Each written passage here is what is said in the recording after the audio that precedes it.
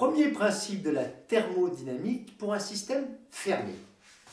Bien, nous avons vu que l'énergie d'un système, par exemple le système gaz compris dans un piston, est égale à la somme de son énergie interne plus de l'énergie cinétique macroscopique plus de l'énergie potentielle macroscopique. Bien, alors, comment est-ce qu'on va bien pouvoir faire varier cette énergie qui va passer d'une valeur E à l'instant T2 moins E à l'instant T1 Pour varier cette énergie, qu'est-ce qu'il va falloir apporter à ce système, à votre avis? Ouais, deux choses, merci Bertrand. Deux choses, donc d'abord, premièrement, pourquoi pas de la chaleur. Hein. Si je chauffe, non pas avec mon doigt parce que mon doigt ne chauffe pas, mais avec ceci, on peut apporter de la chaleur.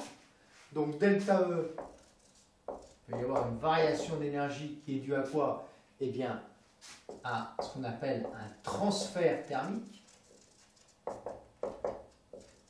À ce moment-là, eh bien, si j'apporte de la chaleur, eh bien, les molécules de gaz, elles vont s'agiter plus, elles vont gagner donc de l'énergie cinétique microscopique, donc de l'énergie interne.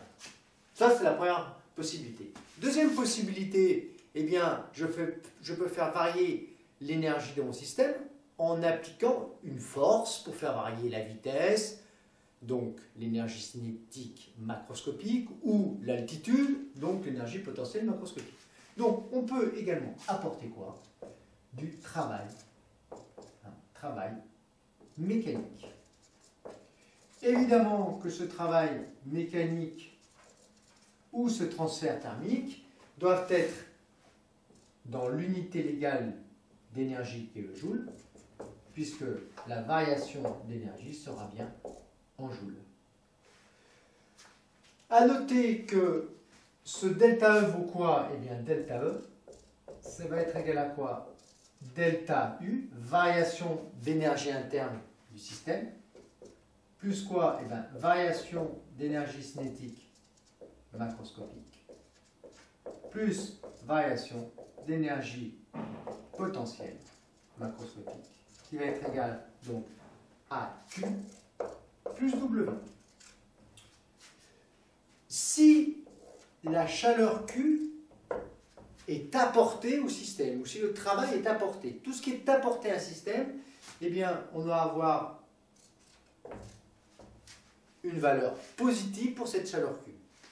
Au contraire, si le système fournit de la chaleur Q à l'extérieur, alors cette chaleur Q aura pour valeur négative parce que le système perd de la chaleur. Même chose pour le travail mécanique.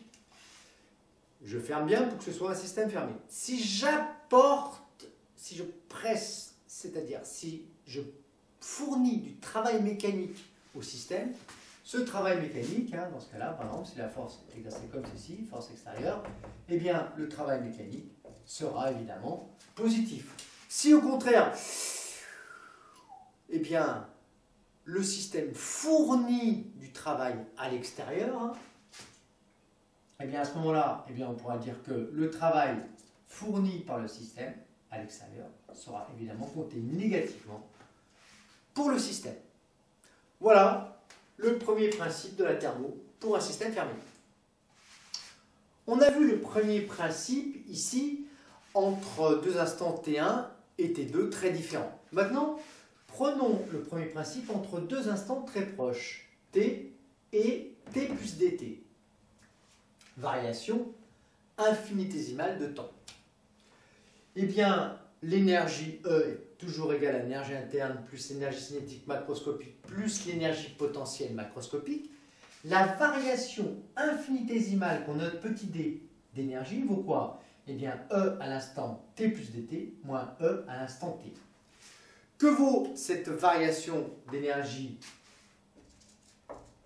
infinitésimale dE eh bien, elle est égale à la variation d'énergie interne du plus variation d'énergie cinétique macroscopique plus variation d'énergie potentielle macroscopique.